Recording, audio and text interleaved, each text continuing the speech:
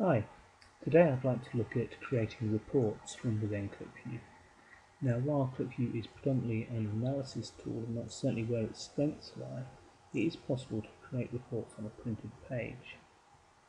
So your typical analysis screen might look something like this, um, and we can send that to the printer just by selecting print from the menu here. But if you want um, crisp, um, high definition graphics when you print, you need to create a report and there's some other features you can use when you create reports as well. So we're going to add a new report from the menu here. Use the add button and give it again name here. And edit. Now when you create reports you um, drop objects from your dashboard, um, your main QlikView app onto the printed page. So to change the page round and make it landscape. And pick up um, three of the objects from this screen and drop them onto our page. Now we can pull these about on the page just rearrange things a bit. Move this table here, make it wider Now you'll notice that the caption bars, which are on the main app, contain some of the information that's on there.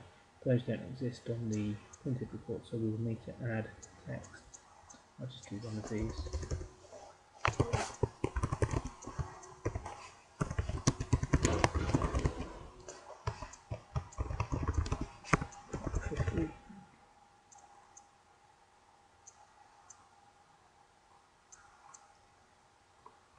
Then our main title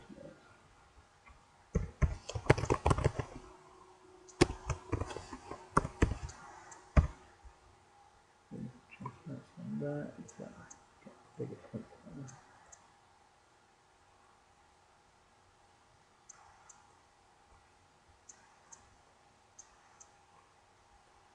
Now we can OK that. And when we've added our report, it appears on the menu here and that also appears in the as a menu item through access point. Now if we pick a PDF print advisor here and send that to print, it just asks us where we want to save our PDF version. And then you can see that it's created that for us here. And this, as I said, is a much higher resolution than if you print it from print menu here. Also, you don't get the sort of preamble and other objects, just the ones that you want. Now, another powerful feature with the reporting is banding. So, if we wanted to print a page for each product group, we can just pick our five product groups and go back to our report, pick edit report, let's go back to here. Uh, if we change this item we go into the properties for it, we can add on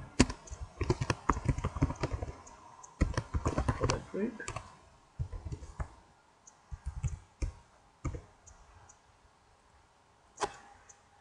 And on the page we can set our banding on the product group.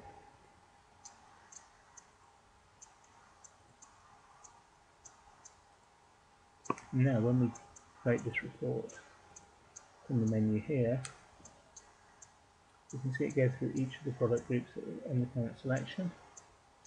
We then go to PDF again, and print. See it's created a document of five pages. And here we go. We've now got a page for baking groups, page, page for beverages, page for deli, and a page for frozen foods and another page for produce. So you can create um, reports with which loop over the band.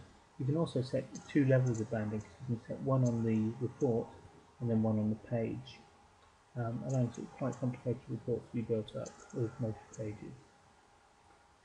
So that's a very brief overview to what you can do with reports. Um, there's a lot more options there that you can dig into um, if you wish. Um, hope that's given you some insight into what you can do. Many thanks for